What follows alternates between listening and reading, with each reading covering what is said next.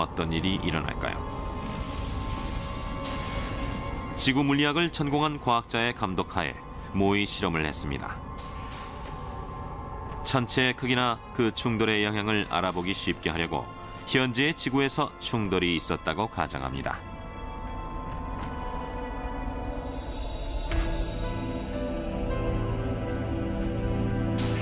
지름이 500km라면 남한을 뒤덮을 만한 크기입니다.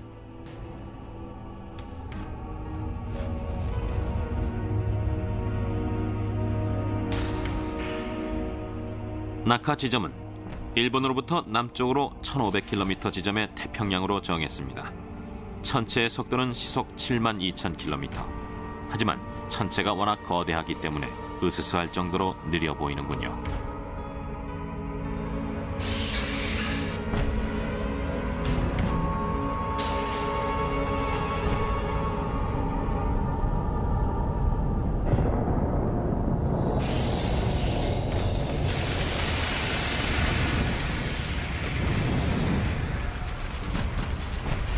두께 10km의 지각이 통째로 걷어 올려집니다.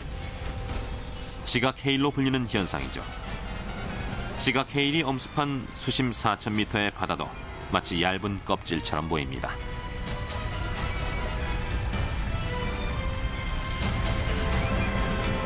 크기가 1km나 되는 거대한 파편들이 솟구쳐 오릅니다.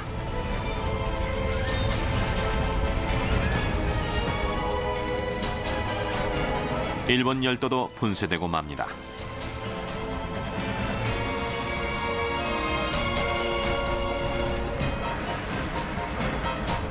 수천 킬로미터 높이로 날아간 파편들은 대기권을 돌파해서 우주 공간까지 도달한 후 또다시 지구로 쏟아져 내립니다.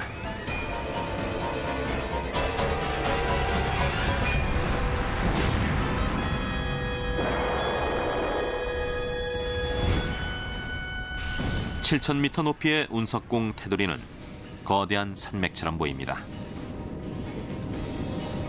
운석공 지름은 4,000km로 괌섬에서 중국 대륙 일부까지 집어삼킵니다. 하지만 이건 재앙의 사소한 시작에 불과합니다.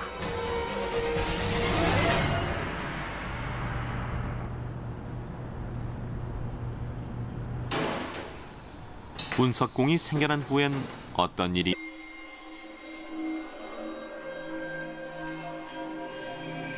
우주에서 보면 운석공 안에 이변의 주역이 드러납니다.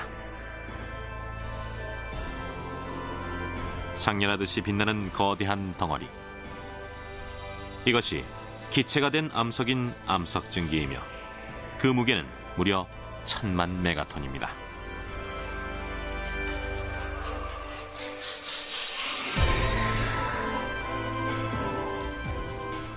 돔 모양으로 부풀어 오른 후 밀어 올려지듯이 순식간에 모든 방향으로 퍼져나갑니다.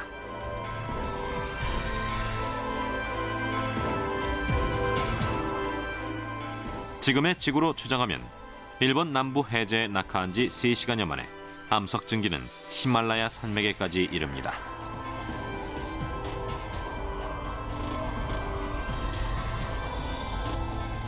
온도 4천도의 열이 초속 300m로 밀려옵니다.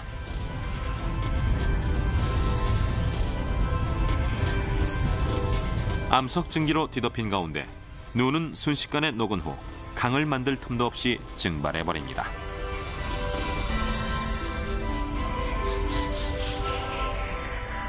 암석 증기는 충돌 지점의 반대편에 해당하는 아마존에도 도달합니다.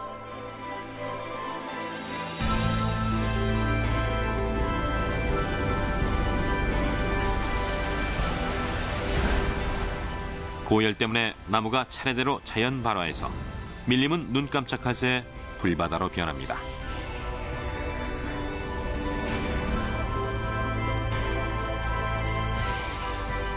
충돌한 지 하루 만에 지구는 마침내 장렬하는 암석 증기에 갇혀버립니다.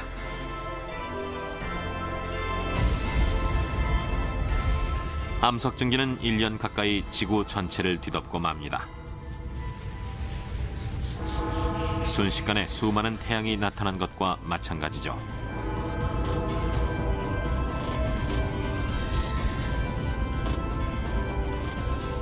생명의 요람 바다도 변동에 휩싸입니다.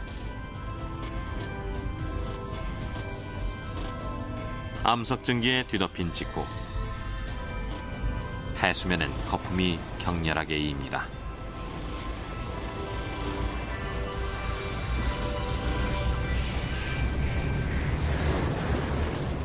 바다가 끓기 시작한 것이죠.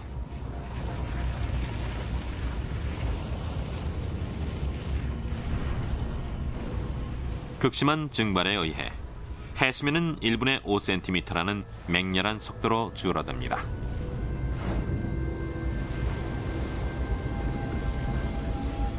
바닷물이 증발되자 소금이 드러납니다. 이 소금도 금세 증발돼 갑니다. 모습을 드러낸 해저는 여지없이 고열의 영향으로 용암처럼 녹기 시작합니다.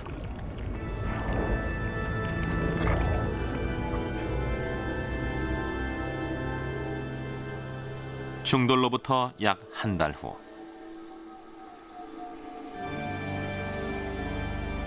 암석 증기 아래에 놓인 지표면입니다.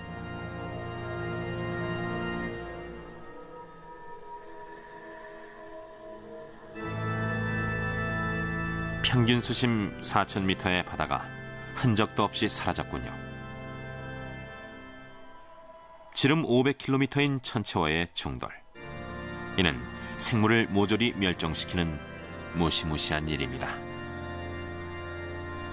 지구는 생명을 감싸 안는 자상한 어머니가 아닌 대변동을 거듭하며 생명에게 시련을 안겨주는 엄한 아버지 같은 존재였습니다.